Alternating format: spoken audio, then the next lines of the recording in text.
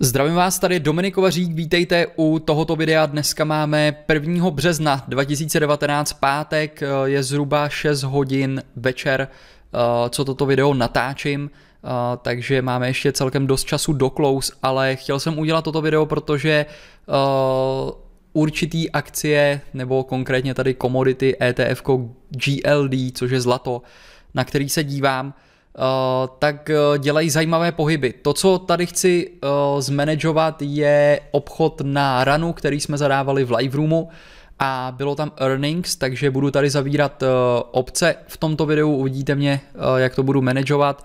A teď jenom když začneme tím zlatem, tak já jsem měl zlato do longu.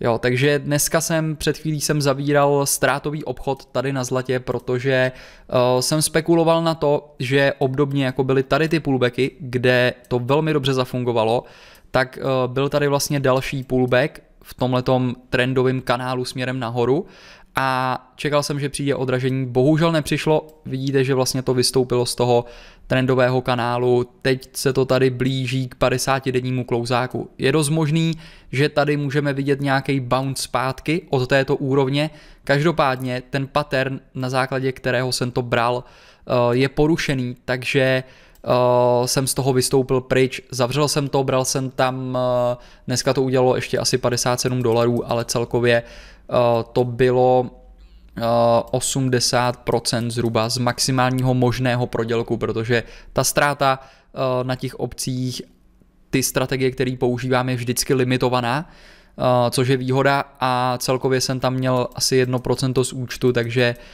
nějakých 0,8 procent, zkrátka jsem tady na tomhletom obchodě ztratil. Takže když se podíváme na RAN,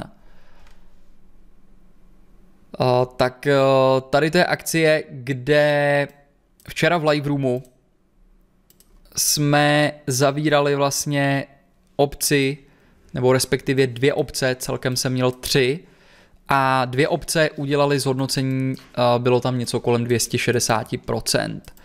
Eh, byla to neskutečná jízda, vstupovali jsme tam někde tady od této úrovně a jelo to až do earnings nahoru, v tom jsme měli v zádech implikovanou volatilitu a všechny tyhle ty věci, eh, proč jsme do toho vstupovali, takže to vyšlo skvěle. A potom jsem se vlastně rozhodl i na základě eh, návrhu vlastně z live roomu od dalších obchodníků, kteří tam obchodují, tak jsme tam vymysleli to, že tam jednu obci necháme přes earnings, ale vytvoříme z toho spread a vypíšeme tam opci na strajku 17 uh, proti té nakoupené opci. Takže když vám teď ukážu ten obchod tady přímo v platformě, uh, tak tady na tom ranu vidíte, že nám tady zůstala vlastně nějaká symbolická pozice, uh, nakoupená call opce strike 15, vidíte, že je tam zhodnocení aktuálně 210%, 78 dolarů a tady to je ta vypsaná 17 dolarová call opce, maximální eh, možný zisk je tam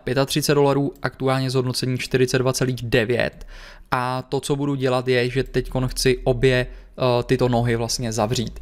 Na tom obchodě tím, že jsme vytvořili ten spread, jsme tam nemohli už prodělat, eh, protože to bylo předtím v zisku a vidíte, že i ta maximální ztráta tady na té by mohla být 37 dolarů a tady 35 v plusu. Jo, čili jsme se tam zafixovali a teď vydělávají uh, obě ty nohy, což je samozřejmě ideální případ. Uh, takže i tímhle tím způsobem se dá zobchodovat earnings, pokud tam takovouhle pozici máte. Takže to, co udělám, je, že to zavřu. Nejdříve zavřu tady tu uh, vypsanou opci, mám tady close a vystoupím z toho Počkám, až mě to naplní a potom teprve, teprve půjdu zavřít tady tu opci. Samozřejmě dalo by se to udělat tak, že jsem to mohl zavřít dohromady. I to by nebyl problém, ale nechám to tam chvíli takhle běžet, uh, jestli, jestli to půjde. Dál mám tady uh, pozici na Apple, kde máme call debitní spread, uh, ten tam funguje celkem dobře.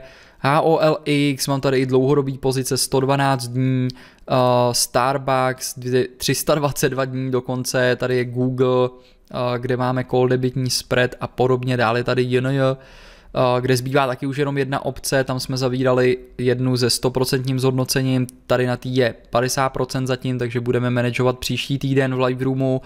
Dále je tady IWM, kde mám put opci jako hedge nakoupenou, Uh, vidíte, že je to větší pozice oproti těm ostatním, zatím aktuálně teď přesně na nule, takže uvidíme, jestli uh, ty akciové indexy nám tady vůbec uh, přinesou nějaký oslabení, protože když se na to podíváme, třeba na ten Russell,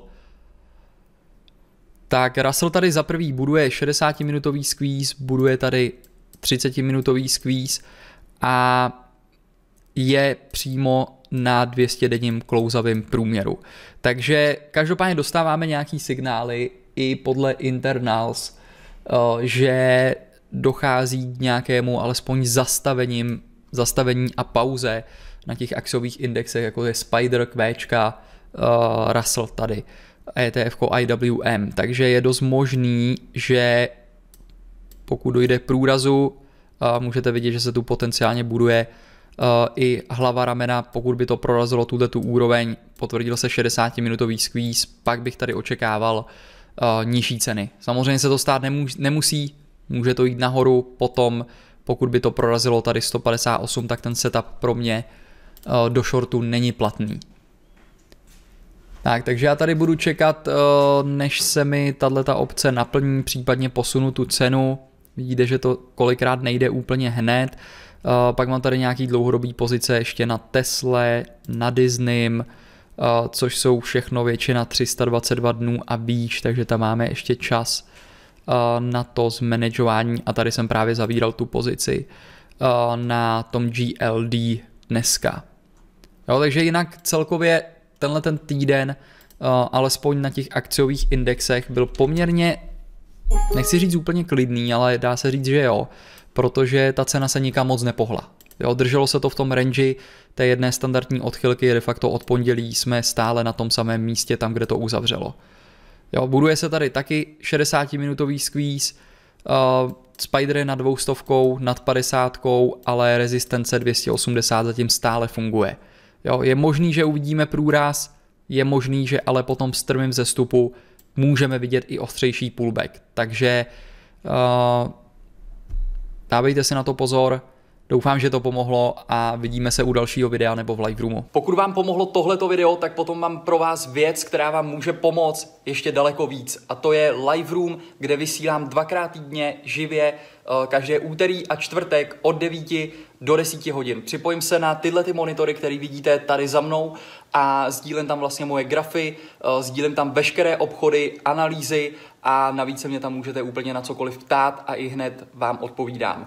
Navíc pokud uh, nemůžete být přítomni na tom živým vysíláním, tak uh, si veškerý ty živý vysílání můžete přehrát kdykoliv zpětně a v tuhle tu chvíli už je tam víc jak 100 hodin záznamů uh, ze všemi obchody, uh, který jsem provedl vlastně v roce 2018 a který tam provádím aktuálně uh, teď. Navíc je tam ještě chatroom, kde se můžete spojit a ptát se i ostatních obchodníků, který jsou u nás v live roomu a obchodují tam společně vlastně bok po boku se mnou. Takže uh, klikněte někde na odkaz v tomto videu, někde to najdete, je tam odkaz na live room, může to být i dole taky uh, pod tímto videem v textu, v popisu toho videa nebo v komentářích najdete ten odkaz, kde se můžete dostat vlastně na stránku live roomu, kde ty živý vysílání probíhají a pokud tam ještě nejste, uh, tak uh, pokud tam vyplníte jméno, e-mail, tak se dostanete vlastně na ukázku toho, jak ten live room vůbec vypadá. Takže klikněte na ten odkaz, podívejte se na to a vidíme se případně v live roomu. Mějte se.